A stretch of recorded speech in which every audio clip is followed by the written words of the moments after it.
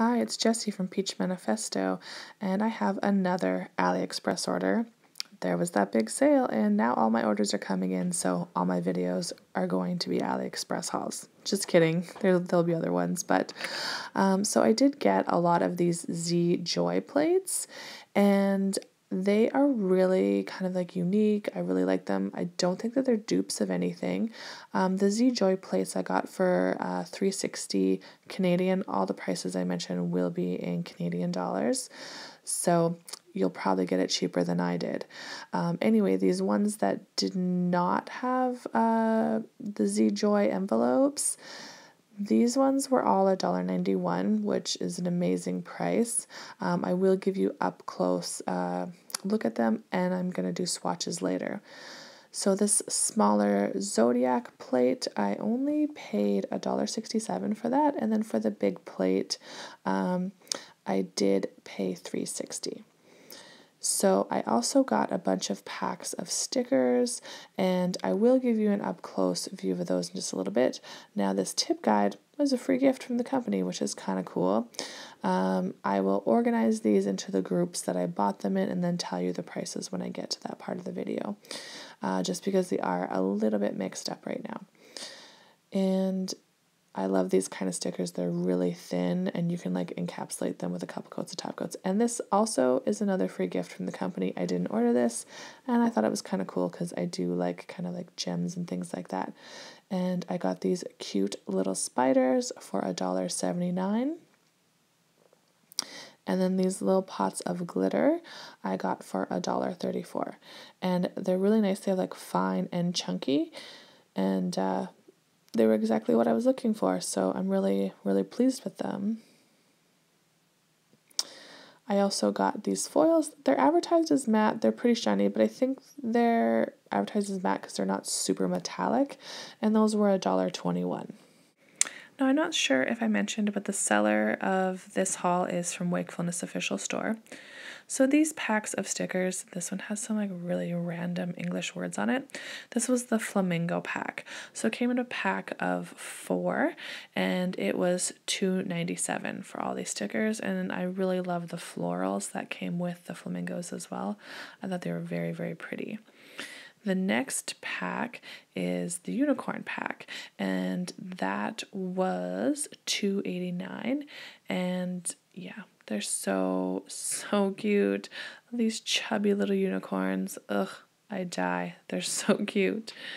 And uh, this one, super random. Like it came in the pack. Um, there is some little Pegasus um, horses on the side and some like weird words and like baby bottles. I don't know. Maybe I'll use it, but it, the rest of the pack is really cute. Like these flowers are so beautiful. Love it. And yeah, these are really nice quality stickers. This pack of stickers I got for my son because he really wanted some bugs and for me to put them on his toes. So we will be doing that. And those were $1.50. Now, uh, these rose gold kind of like metallic stud uh, pack was two twenty four, which I thought was a really good price. Um, I'm really excited to try these out. I kind of really like those little metal implements.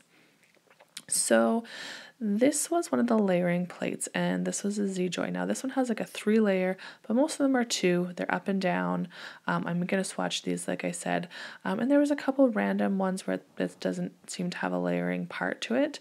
Um, this one really intrigued me. It was like marble design. Um, just really kind of like unique and I didn't have anything like it. Uh, this one I you know how sometimes you just like buy something because it has two images you really like on it? Um, for me, that was the wheat and these leaves. I thought they could have some like really cool um, inspiration uh, designs. This one was mainly, I thought you could do like some really cool like watercolor designs with it. And this one I thought would make some for some really cool like stained glass type of nails. Uh, it had a lot of really cool inspiration. There was a tiny scratch, but I don't think that's going to bother anything. This one I had a lot of images I liked. I really liked a lot of like the kind of ocean, the waves, the seashells, um, like the starfish and the bubbles. Um, totally into kind of mermaid nails, so I thought that would be a really cool plate to have. The Zodiac plate I thought was super unique because it has like the big, the medium, and the small, so you can really fit that into kind of any design. And this big plate just had so many images I thought would be kind of cool. There is two layering ones that kind of like feathers. And at the very bottom, there's a tiny, tiny apple that layers as well. Um, but it kind of has like those like henna style designs that are really popular, things that kind of kind of go around the cuticle area. So I definitely will get a lot of use out of this plate. And um, so, starting off with the layering plate, because I was really interested to see how this would work, and everything picked up beautifully. Um, yeah, it's just a fantastic plate. And I thought I would go with the three layered one because it was the most complicated and just see if I could do it. Um, I do a lot of stamping, so I didn't think it would be too hard. Um, it was a little tricky to figure out how to place the leaves, but I did get it in the end. The lovely thing about the clear jelly stamper is you can kind of really fiddle and figure out where you want. And then as long as you press down really hard for a little bit, the image will transfer through. Now, I I could have left it just like this and I thought it'd be really, really pretty, but I wanted to test out the three layer design and see how well I could do. And I decided to outline it in black, but I kind of regret that. I kind of wish that I would have tried it in white. I thought that'd have been a little bit more delicate, but it did turn out really nice. Um, I think I missed a little bit at the bottom, but sometimes uh, working with these kind of like pop sticks can be a little bit tricky.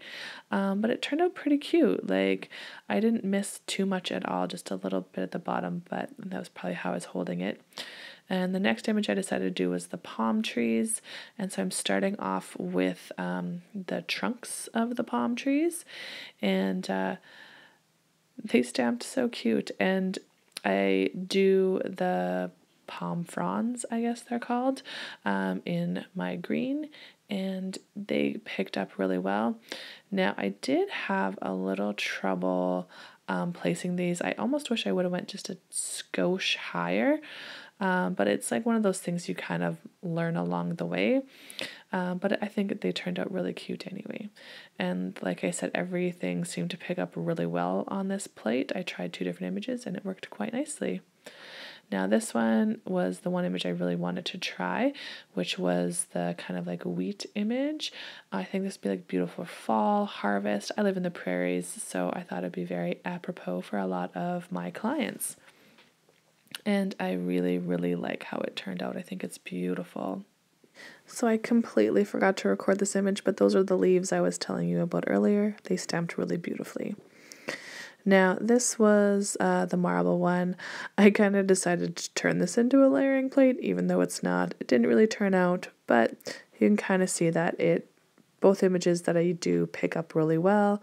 I should have just left that one the way it is, but I decided to go over it with um, one that I thought would pair nicely with it. It was all right, but uh, I kind of wish I would have just done this on another pop stick. I just thought I would like save some pop sticks. Anyway, it's kind of cute, but you see what I'm going there. They both pick up quite nicely. So with uh, these roses, uh, again, the plate picked up beautifully, and I thought I would try and um, attach kind of two different designs. Uh, it sort of turned out if I would have um, turned the one rose a little bit uh, to the side, I probably could have connected a little bit better, but I was kind of just trying to get through all my swatches and stick them in this video and get the video up. Anyway, um, this one is super cute. I really like the way that they turned out. Um, there is a lot of kind of like similar images, so you can kind of do what I did here and just pair them together just because they really do flow really nicely. And I think that's kind of cool because you have different size nails. Um, you can kind of have like a cohesive set, but like with slightly different images. So I thought that was really nice. And this one, um, I decided to do the bubbles over glitter because sometimes stamping looks so, so cool over glitter, you know. Um, I was worried that the image was going to get a little bit lost with the glitter, but it does look very nice and I like it a lot. And then I thought this smash kind of image was kind of interesting, so I thought I would give it a go as well. And yeah, it turned out pretty cool. Like, I don't mind it.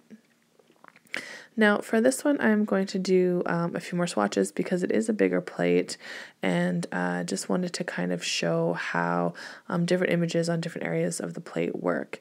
And I decided to start off with like the one layering image. Um, there is another one, but it's like really tiny and not that interesting. So, um, yeah, this one picked up really well. Um, of course, if this was on a client, I would kind of clean up the other stuff underneath, but I think it turned out really good. Uh, I think this image is like so pretty. Like, all the images on here are really pretty, but this one I really was intrigued to try, and I think it's pretty stunning. And I wish I wouldn't have picked this image to go over glitter. Um, it's a little, it has a couple little really subtle um, parts to it that you don't really see as well over the glitter, um, but it did stamp really well. Now I specifically picked this feather one because I was sure that the detail would not show up very well, and I was right. Um, sometimes you could just really tell that the images uh, has too fine of detail to actually pick up very well in these um, kind of more inexpensive plates, um, but all the rest of them picked up really nicely. And then on to the Zodiac, and these ones all picked up really, really nicely. Um, I tried to pick a bunch of different ones, and uh, one of them is my sign. I wonder if any of you can guess which one it is. Um, but yeah, no, they uh, it, it stamped really, really well. So I'm really impressed with all the plates that I got. Um, they were definitely worth the money. I mean, they were really inexpensive, so I, I really can't complain about anything. Thanks so much for watching another AliExpress haul on my channel. Please like and subscribe, and we will see you all later.